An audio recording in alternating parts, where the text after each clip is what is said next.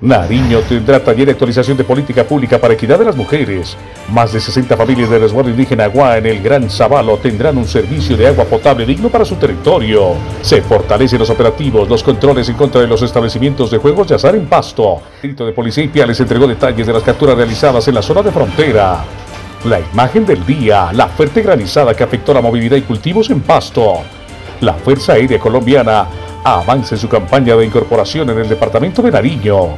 En Hablemos de Política, el Partido Conservador ya piensa en las elecciones 2023. En Nariño las mujeres cuentan con una guía práctica para la defensa de los derechos humanos. Pasto será la sede para el lanzamiento del Observatorio de Derechos Colectivos. Llega la séptima versión de Venus PES, un evento para mujeres de Nariño. Las autoridades y entidades públicas reciben llamado por parte de la Defensoría para que se aplique la ley en atención de personas con discapacidad. La máxima empresa de gas natural cumple 45 años de servicio en Colombia. Hoy se expande la atención en el sur del país.